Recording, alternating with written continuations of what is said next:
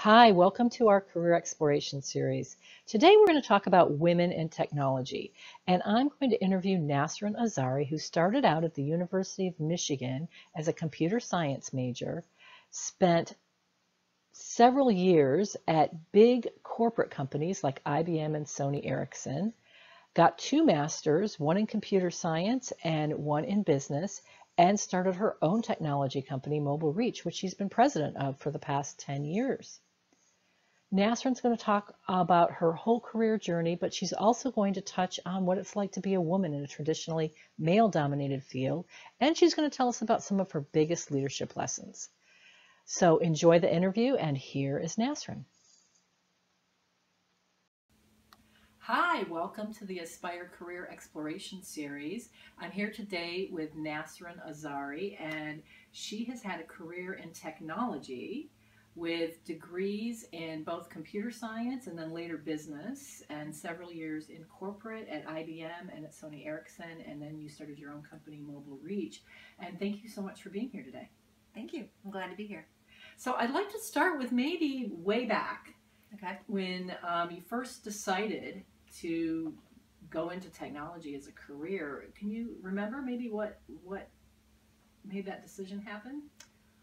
Um, well, I do remember going to school, going to college, and not having any idea what I wanted to do. Mm-hmm. I had a lot of so in my in high school, I did really well in math and science, and so I also really enjoyed a challenge. And mm-hmm. so when I went to Michigan, it's kind of funny when I look back at my transcript. I really tried to take whatever you know the hardest classes I could take. Mm-hmm. You know, my freshman year, I went in there and I just was like, well, what can I take? I, you know, um, I took some very difficult classes and I enjoyed the challenge and I decided to try computer science. At that time, you know, 25 years ago, there wasn't computer science or programming in high school mm-hmm. or anything like that. So it was brand new to me and it required some of the classes that I had been really good at in high school. Mm-hmm.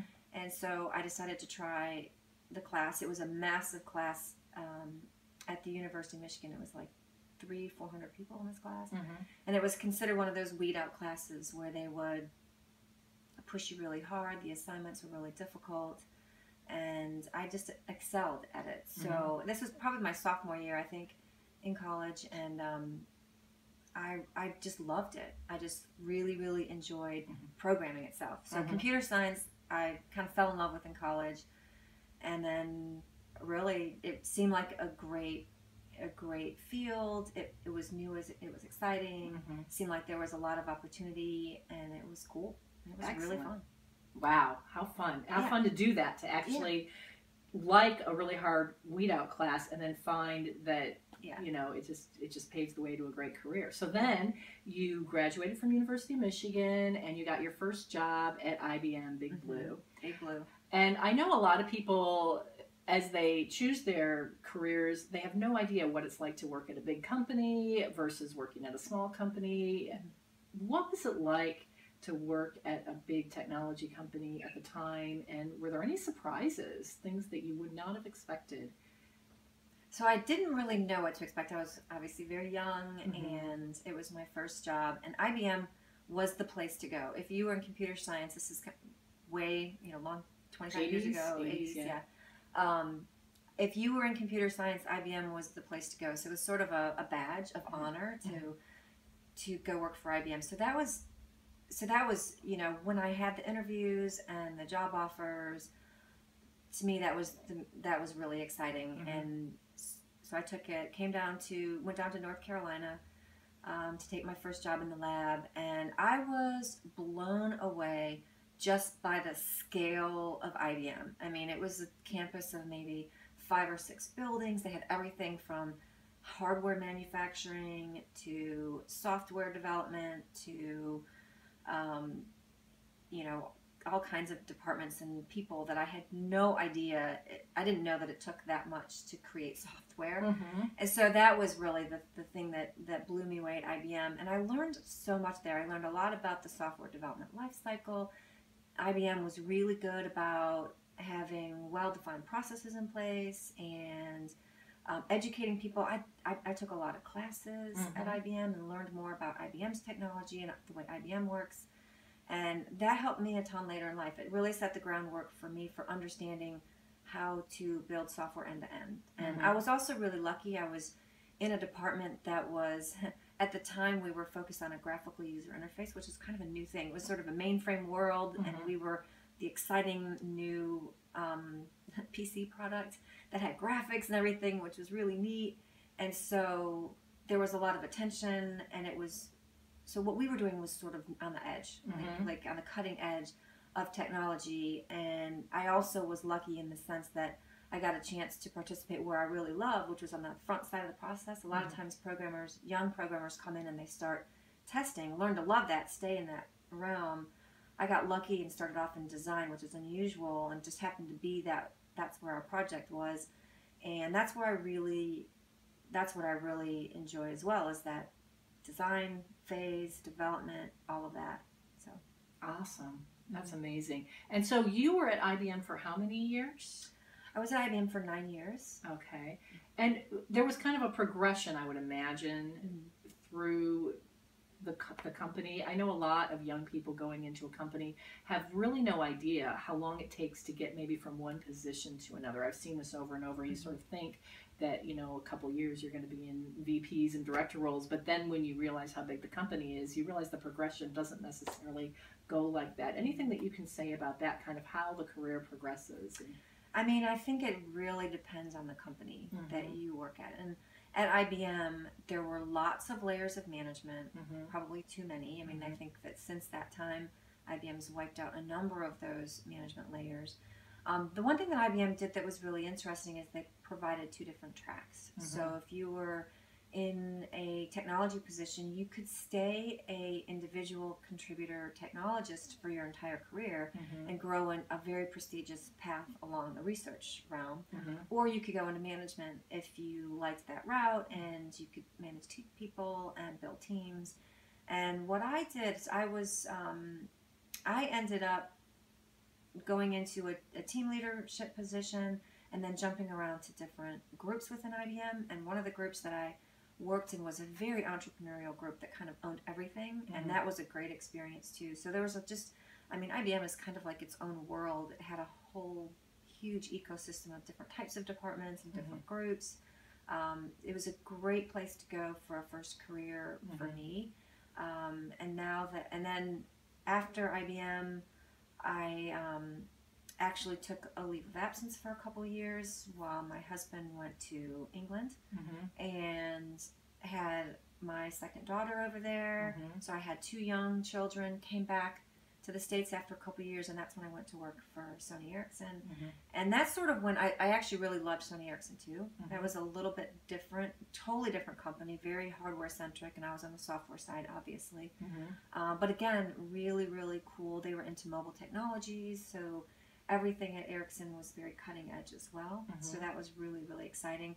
But one of the things that I did get frustrated with, both at IBM and Sony Ericsson, was just how long it took to bring products to market, Mhm. how frustrating that was. It felt like, you know, that there were these bureaucratic decisions made to cut products that, you know, those of us working on those products really would have no idea why that was happening. So I Mhm. felt very removed from the business decisions. Mhm. You know, it was, um, I understood the technology inside and out, but I didn't understand the business aspects Mhm. of what why the company was doing what they were doing. And I had Mhm. no insight into that. So, Nasrin, as we were talking about some of your experiences in big technology companies, being on the technology side, sometimes you didn't have insight into some of the business decisions and how they were made. And so, what happened then? It sounds like you went to business school.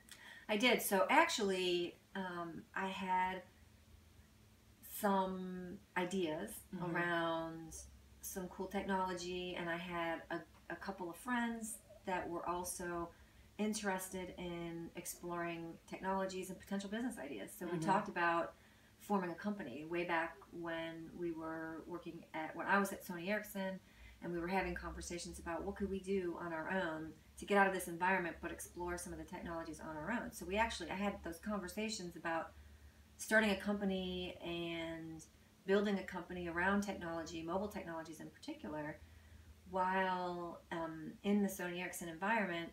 But I realized I didn't have any business experience, and so I actually went to business school to gain the business experience, which which is interesting because a lot of my um, fellow students were there to make a career move, which I guess I was I was doing the same thing. I really wanted to get into the small business arena. I wanted to start my own company. I thought the environment was right for it. That Mhm. there's a lot of um, opportunity out there for people to take technology and do things with it that weren't being done in bigger companies. And that's kind of where I wanted to kind of take you back to that Mhm. decision point because for some reason I thought you went to business school and then you came up with the idea of starting your own business. But it sounds like the seeds were planted at Ericsson, kind of when you were in the environment. And and was it because that long product cycle that you mentioned earlier, because that was getting frustrating, or some of the business decisions were? I think part of it was that the technology development and, and bringing it to market a lot of times it didn't happen and Mhm. it got stalled. And, you know, we would sit there and think, this is a great product, and why are we, you know, there's so much bureaucracy around getting it to market, and there's a huge opportunity out there. We could do better. Mhm, you know, I mhm. mean, it, kind of that, that same thing. We had felt like we had a lot of, and this is, you know, this was kind of before I went to business school. It was just the idea was already forming that this environment, this corporate environment, is too slow for me. Mm-hmm. It's too slow. It's too methodical. Um, it's not nimble enough, and I liked the idea. I, I didn't like a lot of the the bureaucracy of a Mhm. big company, Mhm. the, the kind of the slowness of a big company, the um, what appeared, what felt to me like um, archaic decision making and and overburdened processes and things. Mm-hmm. And so I, you know, I, I, I was I was interested at that point. I'd been at IBM for nine years. I'd been to, with Sony Ericsson for a couple years. So I had a whole lot of experience in the big company environment, and I thought I wanted to change and work in a small company. And then I thought, why not start my own? You know, Mhm. why not? Why not? I Um, love it. Exactly. So, So, how did that get together? So you so you, were you already putting it together while you were getting your MBA, or you took the time off to do the learning? How did how did Mobile Reach come together? So, how Mobile Reach came together was interesting. So, I we had those ideas, and I just um, so another piece of the puzzle actually is that I while I was at IBM, I actually went to graduate school for computer science, Mm. and while I was at graduate school, I did a thesis on um, mobile computing. And I did this great project, um, and that's I think kind of where the seeds really started was that I had developed this pretty cool technology um, at at um, Duke graduate school Mhm. while I was at IBM, and then um, I took a leave of absence. Then I went to, to Sony Ericsson to kind of expand my knowledge around mobile computing and where it was. And so that's sort of where the seeds planted on. I had this great idea. I think I can turn this into a business. Mm-hmm. But then I got, then I sort of chickened out because I didn't have the business experience. The guy that I was talking with, a friend of mine, he kind of backed out. He's like, ah, this is a little, you know, I'm not sure how to, what to do. And so I decided to go to business school. Mm-hmm. I did. I went to business school for a couple of years, and then when I graduated, and while I was at business school, I took entrepreneurship classes. I did a um, internship at a venture capital firm to learn more about entrepreneurship, and and that was all kind of building on that foundation of I really want to be start my own company. Mm-hmm. And then when I graduated, I was actually introduced to a company, Mobile Reach. It was called Mobile Reach Technologies at the time, and Mhm. it was a couple of other folks had started that company, built some technology out that was very similar to what I had envisioned when I was at business school, Mhm. and sort of what had been percolating in my mind for the last you know couple of years. And so I actually joined their company, Mm-hmm. and we were we I worked for them for a couple of years and then the company transitioned there was a little bit of a fallout Mhm. amongst the management team and then some of the folks that I worked with at that company decided to adopt the technology and form our own company and so we created this a license arrangement with the prior company and so we formed our company in 2006 Mhm. as sort of a, an outshoot of the original company where the Mhm. technology was originally built, um, Mobile Reach Technologies. We turned our company into Mobile Reach, Mm-hmm. um, officially Spectrum Mobile Incorporated, and we used the, the name and do business as Mobile Reach still. Oh wow. Okay. Yeah. So now here you are. Mhm.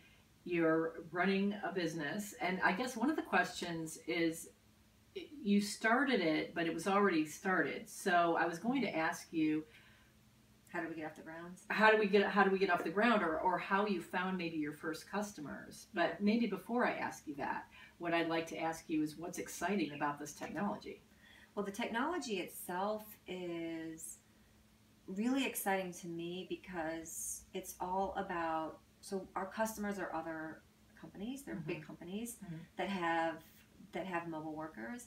And the things that are super exciting about our technology to me are, first of all, that it makes other companies better. Mm-hmm. It, it allows us to give them a tool to make their business better. What you know, in, in so many different ways. Mm-hmm. And the, the technology is very flexible. Mm-hmm. So we can we can go in there and we can talk with a customer about their business needs and bring in our technology to help them basically um, allow their field force to become more effective and more efficient. Mm-hmm. So which makes their business more competitive. And Mhm. so we have a variety of different cu- customers and a variety of di- different businesses that all use our technology for similar purposes, but it makes them all competitive in their own space. So that's So, Nasrin, you're a woman in a field that's traditionally male, technology. You're also a business owner in a traditionally male industry. Have there been challenges related to that, or have there been interesting experiences or differences between men and women that you've noticed?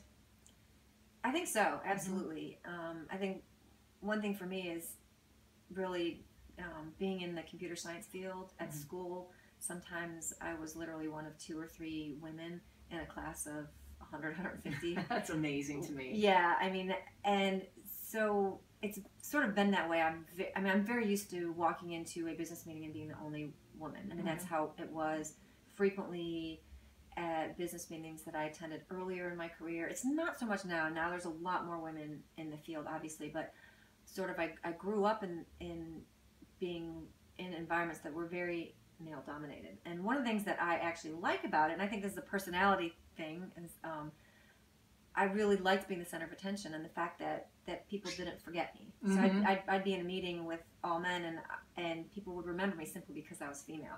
I would stand out, and I like that because overall, I and I think here's here's one of the differences between men and women. I'm generally more soft spoken, quiet. You know, I'm the kind of person and leader actually that will sit back and take in the information. I think a lot of women are like this. This is some of the challenges between women and men in leadership positions is that, and it's it, it's kind of sort of common knowledge in a way that that men are a lot more assertive. Men will will be a lot more confident with less information, whereas Mhm. women, you know, need a lot more information to be as confident Mhm. in in kind of standing up and stating their opinion. So I think there's I really really appreciate the male approach and the female approach, and sometimes I love working with men just because we're different. Mhm. So a man, you know, if I'm working with a man, um, you know, I know he's going to be more typically, not always, he's typically going to be a lot more confident, energetic, ready to go Mhm. with less information. Where I'm going to be a little bit more cautious and are we sure this is the right thing to do? Mhm. So we balance each other out real well. And I think a very in in healthy environments, men and women make a really powerful combination Mhm. um, where it does get challenging is where I'm not necessarily seen as of seen as as strong of a leader because I'm not as initially assertive or aggressive. Mhm. Um, as I mentioned before, I'm the type of person that likes to soak in information before making a decision. Mhm. I'm a very open-minded person in general, Mhm. so I like trying to look at things from different angles. I like seeing different people's perspectives. Um, so I think in a lot of ways that that's just how I am, and that and I'm not every woman is not the same way, Mhm. but I think a lot of women do tend to be less assertive, but also more global in their approach. Mhm. So women tend to be think about more aspects of a, of a situation before coming to a decision Mhm. or a solution. And um, men tend to be a little bit more impul- impulsive, Mhm. ready to, to go, you know, very strong, um, powerful type leaders. I guess I, I'm not sure what the right word is, but more focused too I, Mm-hmm. I noticed it's interesting that you mentioned this because you know i run groups right. And sometimes i'll have all women in the group sometimes i'll have all men but the groups that traditionally have been the funnest have been the ones that have been integrated with women and men.